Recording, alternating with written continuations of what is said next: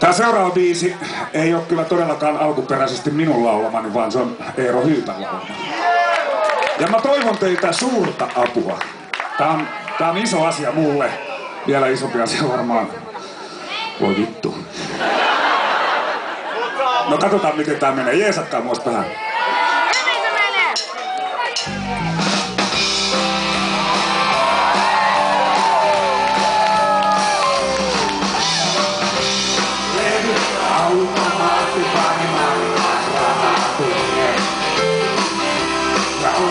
Ostan vielä keskiolue. Pari naista nurkkapöydässä nyt istuu. Niille kelpaa minä. Tappelu joudun eilen illalla. Joku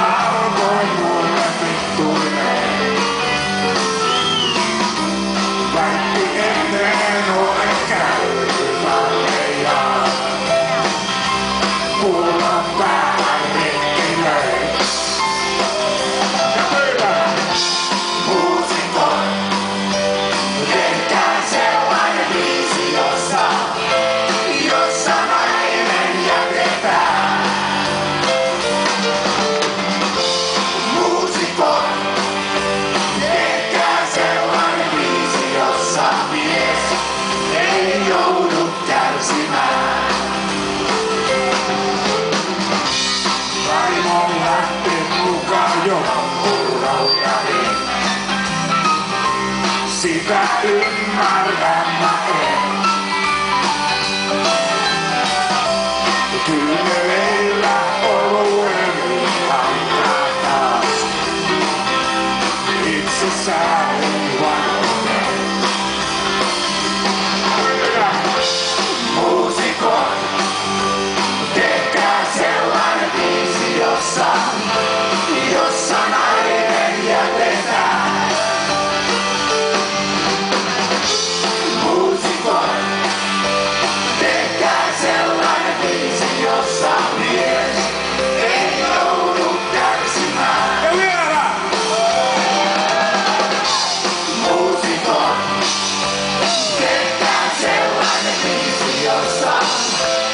jossa nainen jätetään.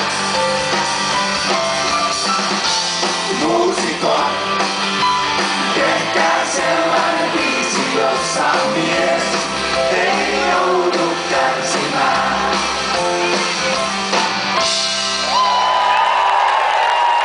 Älkää tappako mua tätä.